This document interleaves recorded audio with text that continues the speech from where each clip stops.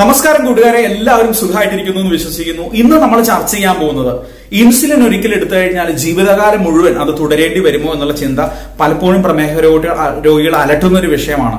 ആ വിഷയം തീർച്ചയായിട്ടും നമ്മൾ ചർച്ച ചെയ്യും. അത് വളരെയധികം പ്രാധാന്യം അർഹിക്കുന്ന ഒരു വിഷയമാണ്. പക്ഷെ അതിന് മുന്നേ പറയേണ്ട ഒരു കാര്യമുണ്ട്.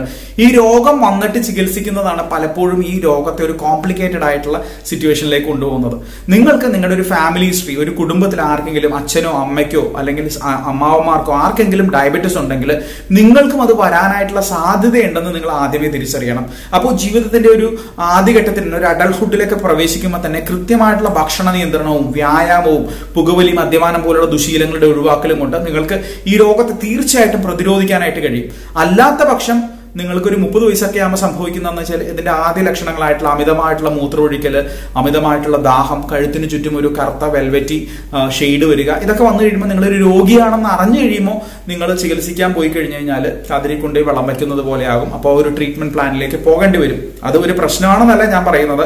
ഏർലി സ്റ്റേജസിൽ തന്നെ നിങ്ങളുടെ ലൈഫിന് ഈ ഒരു ഈ ഒരു രോഗം വരാനായിട്ടുള്ള സാധ്യതയുള്ളത് കൊണ്ട് ആ ഒരു രീതിയിൽ മോൾഡ് ചെയ്യാനായിട്ട് ശ്രമിക്കുക. ഇത് ഞാൻ പറയുന്നത് നിങ്ങൾക്ക് ഇപ്പോൾ ഡയബറ്റിസ് ഉള്ള ഒരാളാണെങ്കിൽ നിങ്ങളുടെ മക്കളെ ആ ഒരു രീതിയിൽ ട്രെയിൻ ചെയ്തെടുക്കാനായിട്ട് കഴിയും. കുറെ വ്യായാമം ചെയ്യാൻ അവരെ പ്രേരിപ്പിക്കുക നല്ല രീതിയിൽ പച്ചക്കറിയും നാരുകൾ അടങ്ങിയിട്ടുള്ള ഭക്ഷണങ്ങൾ കഴിക്കാനും ഒക്കെ അവരെ പ്രേരിപ്പിക്കുക.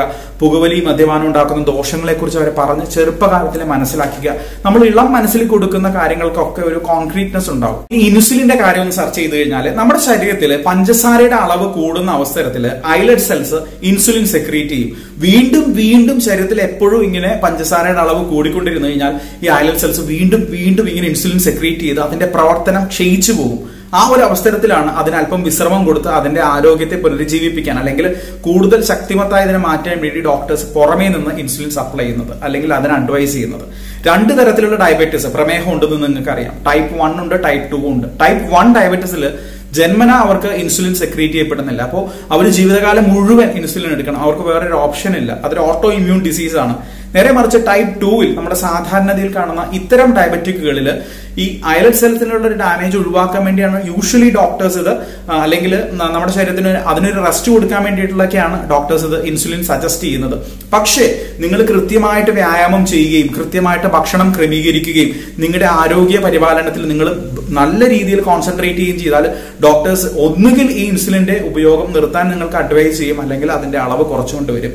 അല്ലാതെ ഡോക്ടേഴ്സ് ഇൻസുലിൻ തരുമോ? ഓ ജീവിതകാലം മുഴുവൻ ഞാനിത് എടുക്കണമല്ലോ. അല്ലെങ്കിൽ ഇതിനുള്ള വരുമാനം എനിക്കില്ലല്ലോ എന്ന് നിങ്ങൾ വിചാരിച്ച് മറ്റു പല കാര്യങ്ങളിലേക്കും പോയാൽ അത് നല്ല ഒരു കാര്യമല്ല. കാരണം ഒരു ഓൾട്ടർനേറ്റീവ് ട്രീറ്റ്മെന്റ് പ്ലാൻ സജസ്റ്റ് ചെയ്യാൻ പറ്റിയ ഒരു സമയമല്ല ഇത്തരത്തിലുള്ളൊരു സമയം. നമുക്ക് ഏറ്റവും ഇമ്പോർട്ടന്റ് നമ്മുടെ ശരീരത്തിൽ ഇൻസുലിന്റെ സ്റ്റെബിലിറ്റി നിലനിർത്തുക അതോടൊപ്പം തന്നെ ഈ ഇൻസുലിൻ ഉൽപ്പാദിപ്പിക്കുന്ന കോശങ്ങൾക്ക് വിശ്രമം കൊടുത്ത് അതിന്റെ രോഗം ഐ മീൻ ആരോഗ്യം ക്ഷയിക്കാതിരിക്കാൻ അതിനെ സഹായിക്കുക എന്നുള്ള കാര്യങ്ങളൊക്കെയാണ്.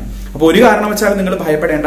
ഏറ്റവും ആദ്യം നിങ്ങൾ മനസ്സിലാക്കേണ്ടതാണ് ഈ രോഗം നിങ്ങളുടെ കയ്യിൽ ഒതുങ്ങുന്ന ഒരു രോഗമാണ്. തീർച്ചയായിട്ടും നിങ്ങൾ കൃത്യമായിട്ട് ഭക്ഷണം കഴിക്കുകയും വ്യായാമം ചെയ്യുകയും ഒക്കെ ചെയ്തു കഴിഞ്ഞാൽ നിങ്ങൾക്ക് അതിനെ വരുതിയിൽ നിർത്താൻ പറ്റും.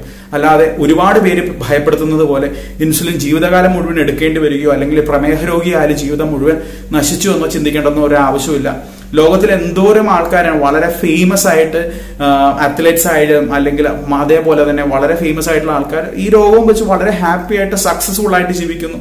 നമുക്കും ഇത്തരത്തിൽ ജീവിതം നയിക്കാനായിട്ട് പറ്റും. മറ്റൊരു വീഡിയോ ആയിട്ട് കാണുന്നവരെ എല്ലാവർക്കും നന്ദി നമസ്കാരം.